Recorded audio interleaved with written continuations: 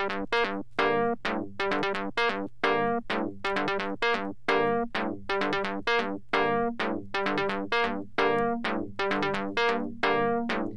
have an idea that you are here.